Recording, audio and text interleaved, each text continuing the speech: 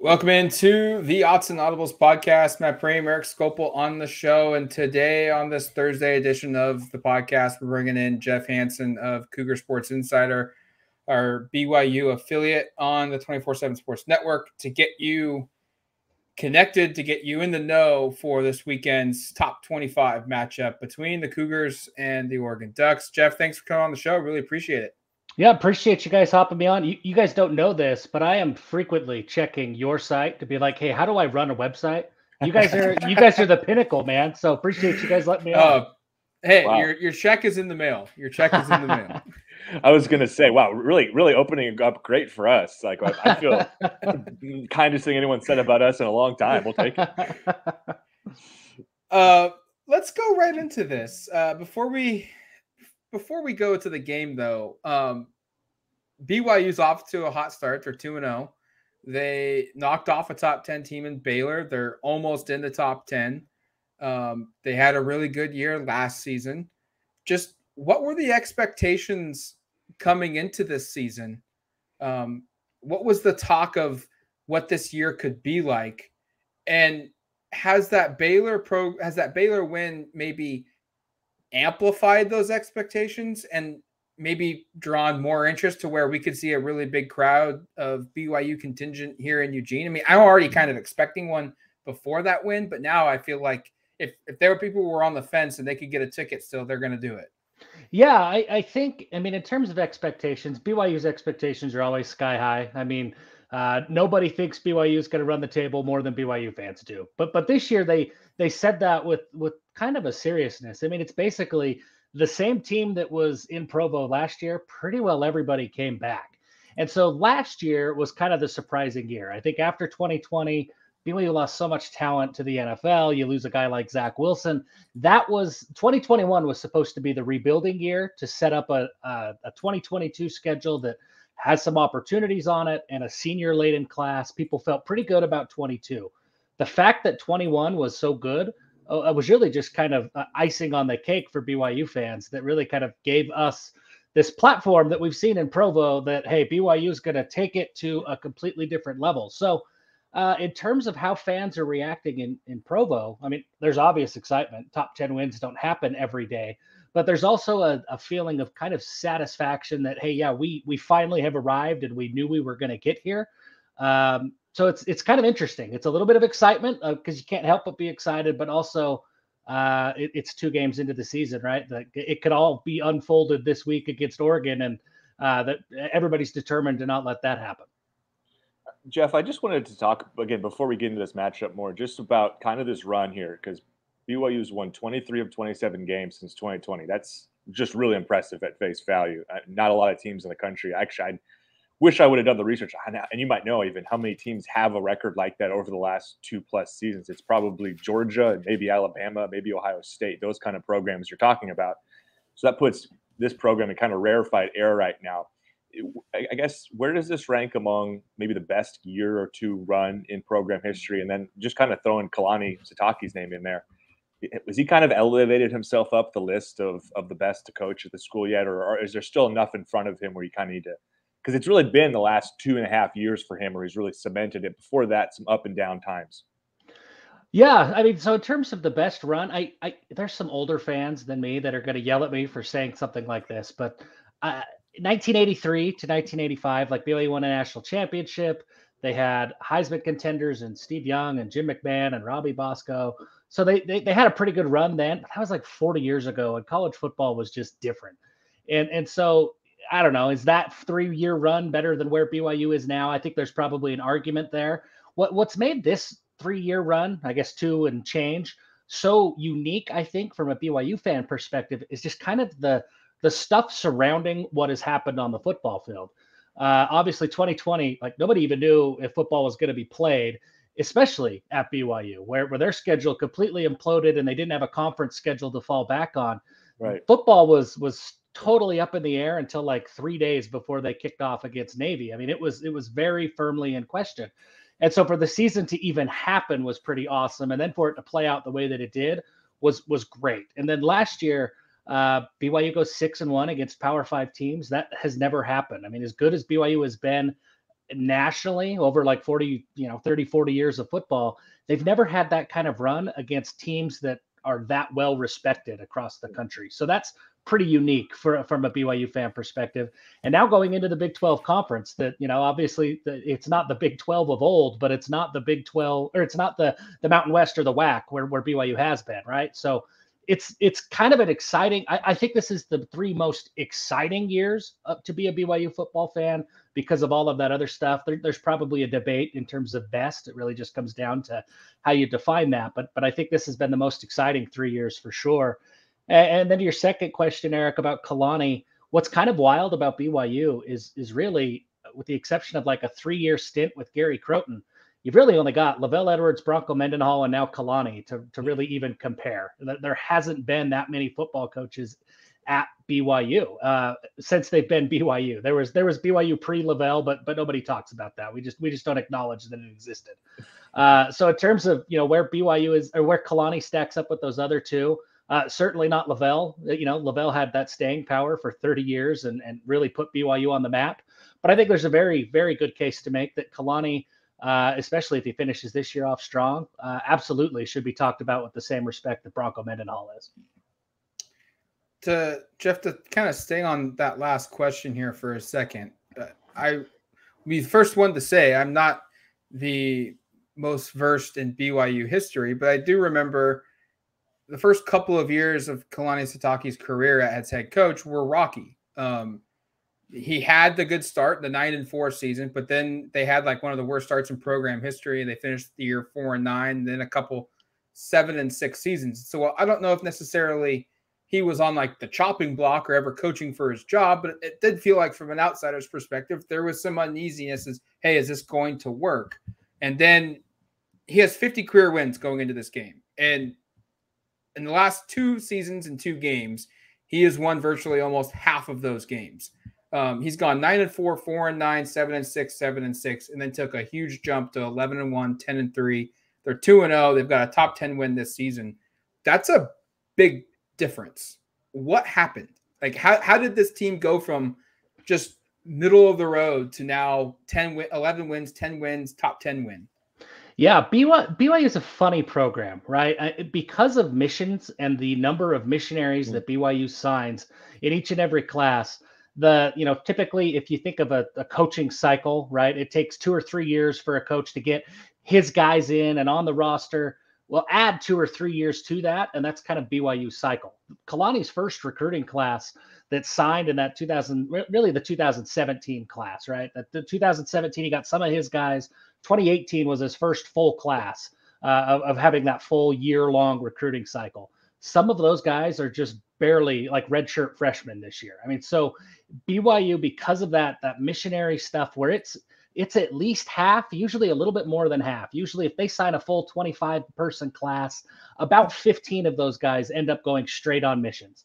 Uh, due to the nature of how they have to manage their roster, I think everybody inside of Provo recognized that it's going to be rocky for a little bit just because BYU's different. Uh, and, and, at the time, you know, 2016, 2017, the transfer portal, I think it was just starting to mm-hmm. exist. Mm-hmm. It certainly wasn't yeah. the bonanza that it is now. Kids still had to sit out a year. There wasn't that immediate eligibility.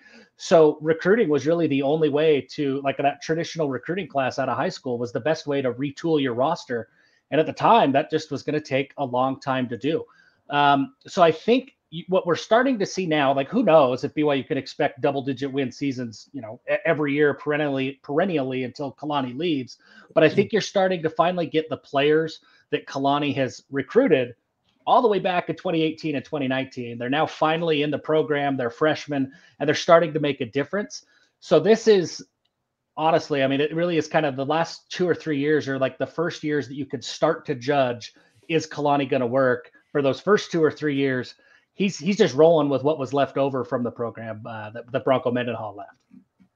Speaking of one of you talked about the transfer portal and its kind of availability and, and how it's impacted things, and I think BYU's benefited a little bit from it. I I do a story every week before the opponent, the top highest, you know, 10 highest rated recruits on the opposing roster. And I, I, believe two of the, I think the top two on BYU's roster are transfers. And uh, Kingsley Suamataia and Puka Nacua, both from Pac 12 schools. And I wanted to ask you specifically about Kingsley because those listening to this show, Oregon fans, know that name well because it was a year ago that Matt and I were saying he's going to come in and start at left tackle and he's going to blow everybody's minds. And then, shoot, by the time October, like Halloween rolled around, I think he was transferred. And by the time the early part of November hit, he was uh, committed back to BYU, his home state. What can you kind of tell us from what you've heard about maybe maybe kind of why he ended up at BYU? And, and, and I know we, we talked about a little bit off air, but like kind of why did he leave Oregon to begin with, or kind of what did you hear from that regard, and then just how has he kind of settled himself in? Because I know he's starting this year as at right tackle, at least has the first two games. Yeah, Kingsley. So we've known Kingsley here locally in Utah since I think he was in eighth grade, is when BYU offered him. I mean, so he's been on the recruiting radar for for years. And when and so we were able to form a pretty good relationship with him and with his family. And and to a lot of people, it kind of surprised us that he left the state. He was just always so family oriented and, and being close to home and being close to the people who were familiar with him was always super important. And I, I think that uh, going out to Oregon, there was kind of a built-in support system, for lack of a better word, with the Sewell brothers were up there at the time. Uh, that you know they played high school ball together, uh, uh, uh, Noah and, and, Kingsley. So I think a lot of people thought, hey, there's there's an aspect of home there, so so he's going to be comfortable, he's going to be okay. It, it, didn't take long for him to get out to Oregon and and then just realize, hey, he wanted to come back home what what's been fascinating as I've talked with Kingsley and with you know those around Kingsley since he's returned, since he really since he hit the portal. Uh, normally, when you you get those big time transfers, you're able to kind of glean, as I'm sure you guys have uh, experienced in the past. There's the story, and then there's kind of like the little tidbits in between the story that you kind of figure out, like, oh, they were unhappy because of X, Y, and Z. You know, such and such coach said something.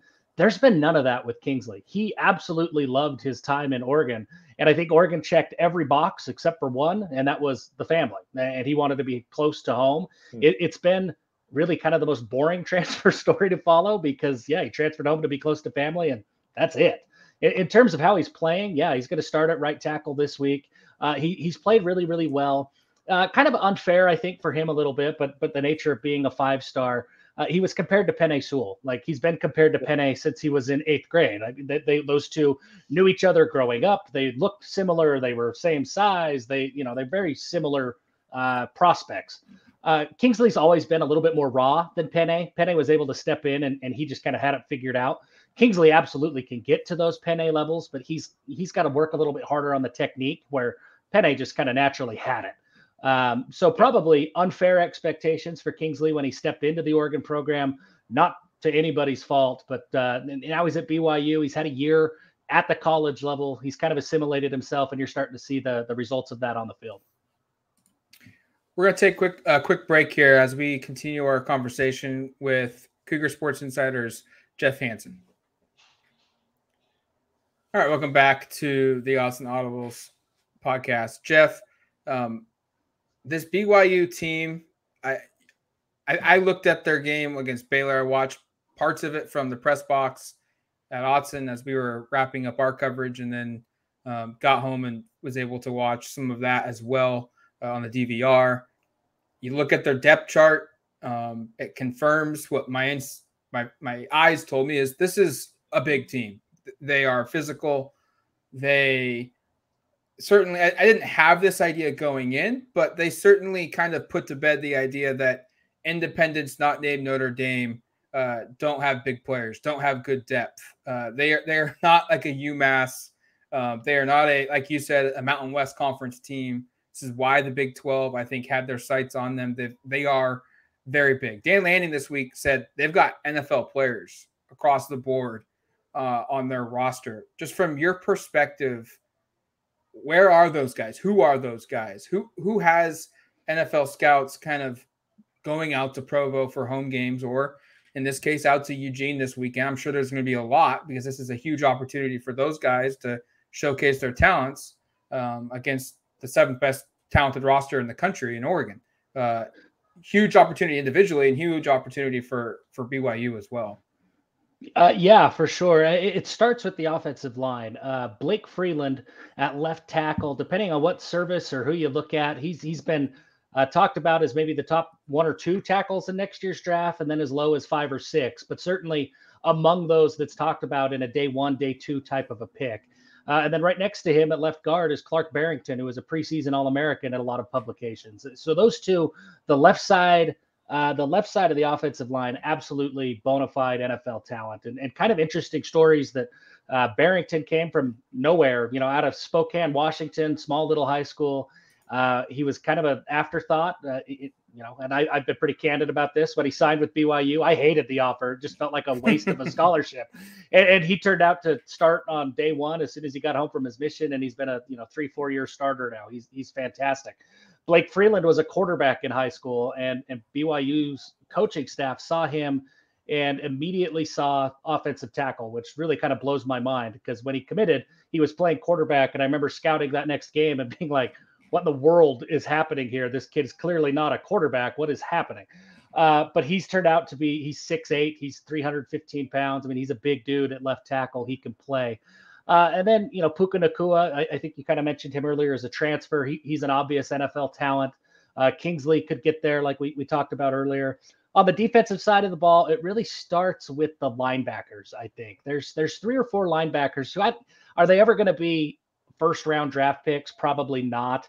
But there's three or four linebackers that absolutely have the talent to get a chance in the league and, and make a run of it. Uh, you'll hear names like uh, like Max Tooley. Uh, he was a former four-star recruit. He he was really good out of high school. He's just been around forever. After he went on a mission, came back. Now he's a senior. Uh, they talk about him the same way they talked about Fred Warner in Provo. And Fred Warner, it worked out. Max Tooley gets that same kind of notoriety, has that same kind of impact.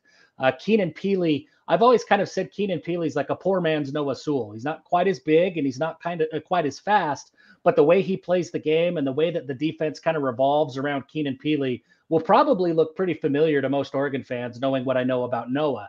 Uh, so those linebackers are all really good as well. That and then Jaren Hall. Jaren Hall is, I, I, think, in my opinion, he's maybe a little small. Maybe he's maybe his injury history comes back to bite him. But Jaren Hall plays like a Sunday quarterback to me. Uh, we'll, we'll see what what happens. Quarterbacks, you know, the most difficult NFL position to to, to gauge and evaluate. But I, I see NFL potential. I see a lot of the same things that uh, Zach Wilson showed when he was in Provo just a couple of years ago.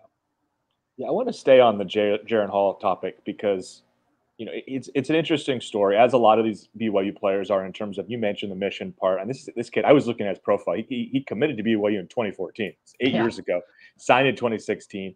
Went on a mission. Sat behind Zach Wilson for a while. Played a little bit, and actually played pretty well. It looked like I think it was back in you can correct me, 18 or 19 when, when Wilson had an injury. Um, kind of what's been the maturation process there? And, and I imagine you talked earlier about kind of 2021 was seen as maybe a rebuild year, but it wasn't. And I'm guessing a part of that was the quarterback play might have been better or maybe maybe expedited from what it was expected to be because of how well Jaren played. So kind of what, what can you tell me about him and and I've watched him play quite a bit. Looks like a player who can can do all sorts of things over the field. Like Oregon's players have a lot of respect and have kind of communicated that this week. But kind of give us the Jaren Hall story. Yeah, yeah. So he committed forever ago. Yeah, 2014. he he's a he's a BYU guy. His dad played at BYU. His brothers. He's got a younger brother on the team now. He had an older brother who played when he first got to BYU. So this is just a BYU family. Always has been. Uh, so as soon as he got an offer, he pounced on it, and yeah, it's been nearly a decade since that happened.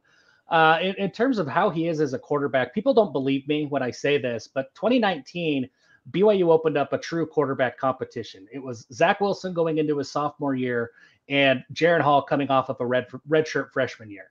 The competition was close. Like it was really, really close that coaches went into fall camp not knowing which one they were going to start. It wasn't until a couple of weeks into fall camp that Zach was finally named the starter. And it could have easily just as gone the other way. The, the big difference in, in that decision was that Jaren Hall was also playing baseball uh, for BYU at the time. So Zach had dedicated more time to the film room while Jaren was playing baseball. So they felt that Zach was mentally a step or two further than Jaren was in, in terms of how to read a defense. That was it. If Jaren was playing football, he maybe beats out Zach Wilson, and, and maybe the Jets have a different quarterback right now. That's how close that competition was. Um, so in terms of what we've seen from Jaren, a lot of it is is was kind of expected for most people inside the program. The biggest difference in Jaren last year and this year is his health. He did miss a couple of games with a rib injury last year, But up until last year, he had never completed a full game. Uh, he, I think he'd made two or three starts, and he had exited with a concussion in two of them, and then some other undisclosed injury in the third. Uh, and so nobody really knew what to expect. Could he take a hit? Could he last a full season? Uh, he had kind of that freak rib injury, so he didn't get quite the full season, but I think he played 10 or 11 games last year. Uh, and he's been healthy so far this year. That that really has been the the biggest difference. And then I guess he did step away from the baseball diamond and go all in on football, and that that's turned out well too. When when you look at this team for this matchup against Oregon, um, is there an X factor that that you feel like could make or break this game? Or maybe the better question, since football is such a, a team dependent sport, um, is there a position group that really needs to to perform well, or if they don't perform well, it's bad news for for BYU. Yeah, for me, it's the BYU defensive line. Last week against Baylor, they they played incredibly well. I think I think Baylor ran the ball 52 times at a 2.9 yard per carry clip. I mean, so they just couldn't get anything going with the ball. And people have asked and said, why was Baylor so insistent on running the game? Well, well, Baylor's offensive coordinator was at BYU for for three years, Jeff Grimes. He knows this BYU defensive line, and so do a lot of BYU fans. And over the last few years, even when the deep defensive line has played well, eventually it felt like every game they had that breakdown and let a couple of long drives and just couldn't couldn't stop the running game. And if you look at even just box score stats over the last two or three years, the rush defense has not been good. Uh, there was a lot of optimism that it would change this year. You really don't get a test against USF, but it certainly looked different against Baylor the question is going to be is that you know a sign of the times that hey things really have changed or was that kind of a one-off uh, and i think we're going to find out against oregon because oregon this isn't chip kelly's oregon this is a physical oregon team and i don't think a lot of byu fans really are prepared for the physicality that oregon has on both sides of the ball frankly uh, but but Oregon's going to want to run the ball. They're, they're going to run it differently than Baylor did, but Oregon's going to want to control that line of scrimmage as well. They're going to want to run the ball and get to the edges. Uh, how BYU's defensive line responds, in my opinion, is what makes or breaks this game. I think another thing for me here that's pretty pivotal is, is what's going on with some injuries for for the Cougars. We talked before the podcast started, and you kind of explained that maybe Kalani is a little similar to Dan Lanning in terms of being pretty tight-lipped with some injury news. So um, some of this will be speculative, but both Puka Nacua and Gunnar Romney, last year's top two receivers, both guys that are really highly regarded. In fact, I mentioned earlier on the show, I do that top 10 recruits on the team thing, and Nacua was second. I think Romney was fourth. Um, so these are these are some of the quote unquote like blue blood, big time recruits that are on this team. Both those guys missed the most previous game with Baylor. Uh, Gunnar hasn't, I, from my understanding, hasn't played all year. And Puka hurt his ankle against South Florida. Um, what's the, I guess, kind of what's the latest, or what do you know on those two, and, and what what's kind of the likelihood both play? And then, I guess just to kind of add on to that, give us a little bit of Chase Roberts because Roberts is a guy who stepped in um, against Baylor. True freshman, hadn't really produced obviously much because he's second game of his career and he goes out and eight catches, 122 yards and a touchdown. And, and I think really was somebody that to me jumped out because we talked about Jaren Hall and, and, and kind of what he's able to do. He needs targets that are reliable. And it really just seemed like he gravitated to Roberts from what I, my perspective most of the game. Yeah, no, I, I think you're you're spot on there. We'll we'll talk injuries real quick. Um, yeah, you're you're right. Kalani Sitake, he doesn't, you know, I, I, always tell people, people are always asking, as I'm sure they are you guys, hey, what's the latest on so and so? And Kalani could come out and say straight up, hey, he's gonna play or no, he's not gonna play. And I wouldn't believe it until I saw kickoff. They're just like so tight-lipped with injuries in Provo. Uh, so from what we know, it, it, sounds like Puka's injury. It's an ankle injury, and it really is kind of up to him and his pain tolerance. It doesn't sound like it's going to get worse, uh, and, and, so uh, he's going to be a game time decision. What that means, I think, in my head, is really Puka go try it out on Saturday morning. If it hurts too bad, then you're out. If it doesn't, then you're in. But it really isn't a medical clearance or anything at this point. It's a it's a pain tolerance thing with Puka. Um, with Gunnar, BYU's never said anything specifically on what the injury is, other than it's a non-football injury. Hmm. And uh, so, some sleuths on the internet who have followed his mom on Instagram, she posted a picture of him after surgery, um, I guess like a kidney surgery or something. And so, whether that was caused by football, whether it was outside of football, nobody really knows for sure. Uh, from what we've been able to kind of gather from people around the program, is it sounds like if you know if it were you or me and it was we we had the same surgery we're, we're back at work we're just fine but you and me aren't having to get hit in a football game, right? So whatever they did to his kidneys, is he able to take a hit, or does he like? Are there real ramifications, right, beyond just a football injury yeah. of, of, of, him getting hit?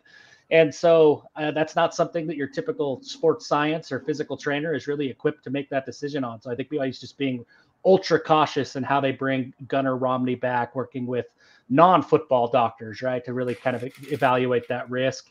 Um, whether they play or not, Chase Roberts has proved, yeah, that that he absolutely is capable of being a big part of that receiving offense.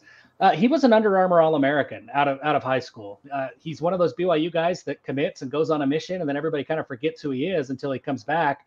And it's been two or three years since he since he was in high school. Um, but in terms of what he did on the field, not surprising. He was a big time player. He played at American Fork High School that ran an offensive system very similar to BYU's. So when he got to Provo, it kind of made sense that, hey, he's going to be able to figure this out pretty quickly. The only question with Chase was going to be how how quickly can he shake off that mission rust from not playing football for a couple of years? Is he going to get into game shape quick, or what does he look like? Uh, I think he kind of passed that test against Baylor. He certainly looks like he's in game shape.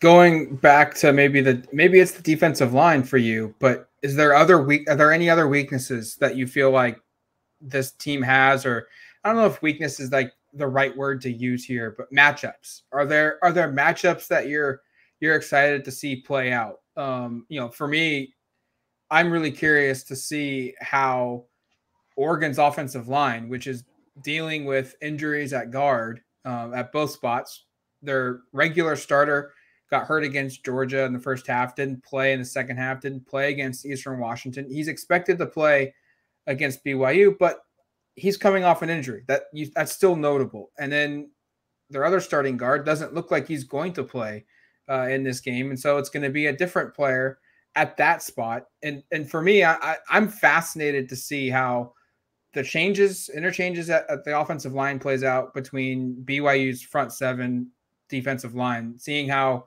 they stymied that Baylor offense, which is pretty darn good.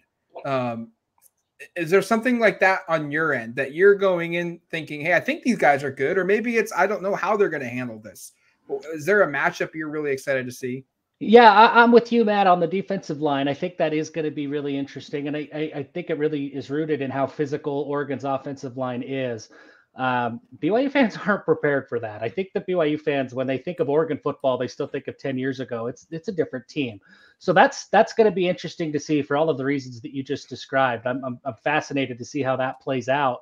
Uh, beyond that, for me, also BYU secondary. Uh, I mean, while it isn't Chip Kelly's Oregon, it's a different Oregon. There's still a ton of speed for, for yeah. on like top to bottom on that Oregon roster. BYU feels good about their secondary. There's, there's some questions at, at strong safety, but at corner and at free safety, they feel pretty good. They they they've said that this is maybe the best secondary they've had in the last 10, 12 years in Provo. Uh, but that's that's not a very high bar to clear. So we're we're really going to see them, I think, be tested against Oregon.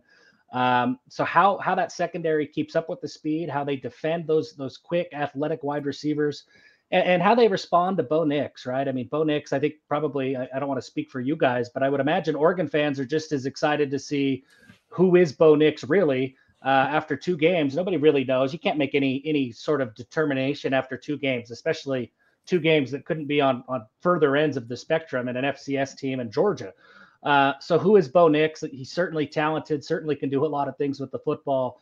And you you put him against a, a, a secondary that is kind of an unknown as well. It, it, will be fascinating to see how that plays out. Done a couple radio hits this week, Jeff, and been asked about Bo Nix. I'm kind of like I, I don't really know either because it's like against Georgia, you know, not that they were going to win that game, even if he played like an A plus game. I think Georgia was just significantly more talented. Frankly, not a lot of teams in the country contend. But he made two mistakes that totally altered the way that first half played, and then you get in a big hole and you change the game plan, and it just becomes a certain kind of game. And and Bo's kind of owned up to that. And then he turns around against Eastern FCS competition, like you said, and was was statistically one of the best games an Oregon quarterback has had in about eight to ten years. He completed 85% of his passes through five touchdowns, no picks, all those things which are great. Only played the first drive of the, sec- of the second half um, and, and still had 277 yards. So all these things are great, but like like you said, I think we're kind of going in like we're going to learn a lot about who Bo Nix is. So I, am with you there. and I'm sure um, Oregon fans feel that way, and I'm sure BYU fans probably do too, because it's, it's it is kind of the ultimate mystery of what is Oregon's quarterback situation actually going to look like. Because I think the two opponents the first two games are really impossible to compare. And BYU is obviously closer to Georgia than Eastern Washington, but where does Bo Nix fit in kind of that uh, highs and lows as well? So, and then my, my, last one here for you, Jeff, before we let you go. Thanks for being so generous with your time.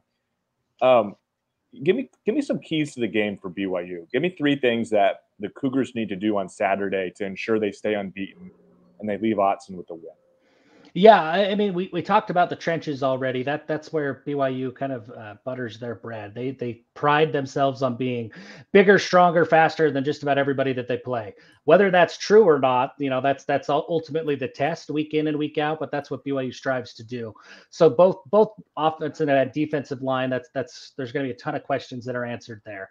Um, and I guess kind of coinciding with that is, the running game that BYU frankly got lucky against Baylor to to leave LaVell Edwards Stadium with the win while only rushing for I think it was like 83, 87 yards. It, it was it was less than 100, and it was I think it like a two and a half yard per carry clip. It just was not a threat all game long. Most of those yards came from Jaren Hall making plays happen that were broken down pass plays. BYU just could not run the run the ball with their running backs at all.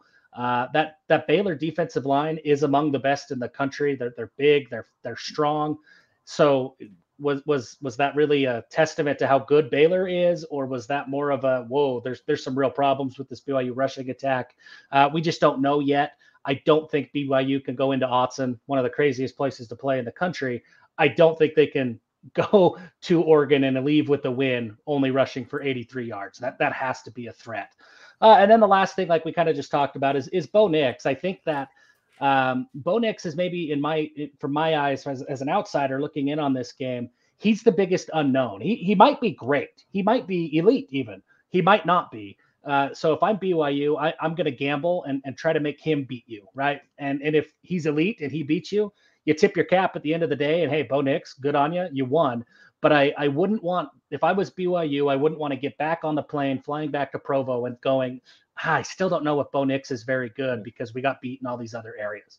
So so making Bo Nix put the ball in his hands and making him make you know quick decisions, making him throw the ball accurately. That that's where I would uh, where, where I would put my emphasis if I was you know coordinating BYU's defense this week. I got one more question for you, Jeff. Um, what how how important is this game to the season?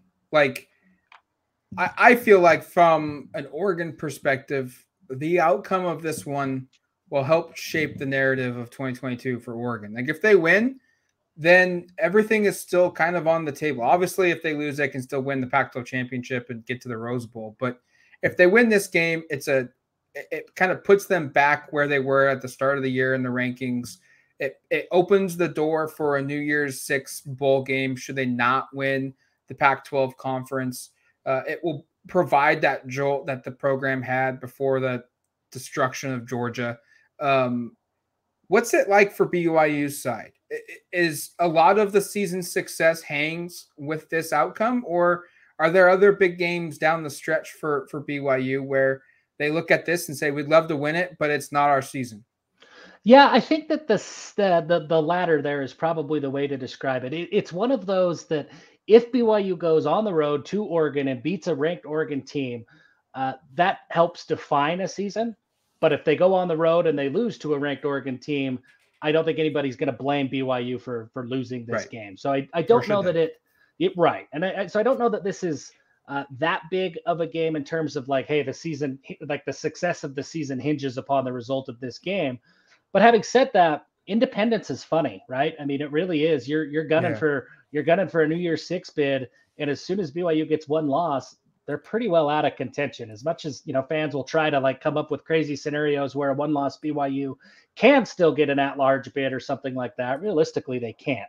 So in that sense, uh, if that's really the end goal, then the BYU has to win every game, and every game, you know, until there's one loss on the schedule, every game defines what the season's outlook will end up being.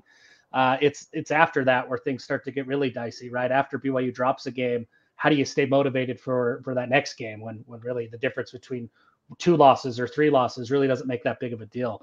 Um, but but I, I guess in more micro from a micro perspective, I, am certain that that Oregon doesn't look at BYU as a recruiting threat, but BYU absolutely looks at Oregon as a recruiting threat. I mean, Oregon's right. had success here in the state of Utah, right? Guys like Jackson Powers Light, his I think his family, somebody, his grandpa maybe was a an old BYU swim coach. Like they were BYU fans growing up forever, and and he immediately left the state when when Oregon offered. It was pretty quick. Uh, Harry Taggart from from Corner Canyon High School is another one. The Sewell brothers.